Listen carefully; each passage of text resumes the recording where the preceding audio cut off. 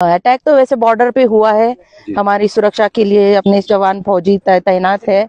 हमने यहाँ पे तो कुछ सुना नहीं है गुलमार्ग में सब कुछ सेफ़ है। तो क्या कहेंगे बाकी पर्यटकों को आप? हाँ सब आ सकते हैं आराम से एंजॉय कर सकते हैं सब कुछ सेफ़ सुरक्षित है यहाँ पे। जी अपना नाम बताइए। हाँ मेरा नाम कडलक पराजी मैं महाराष्ट्र से हूँ शिरडी से। और दो दिन से हम इधर है। और एकदम माहौल जो है एकदम बढ़िया है।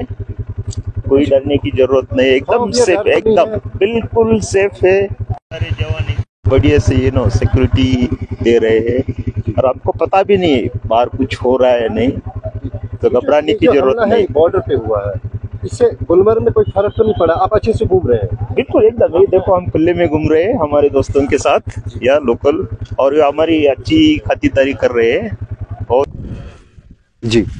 मेरा नाम आबिद हुसैन है। जी अब सब आप सुबह से काम पे निकले हैं?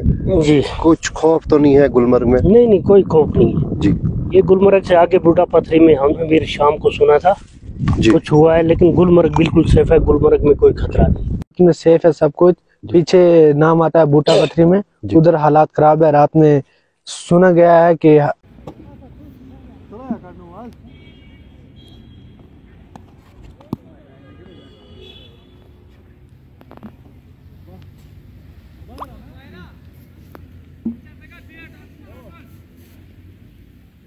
to us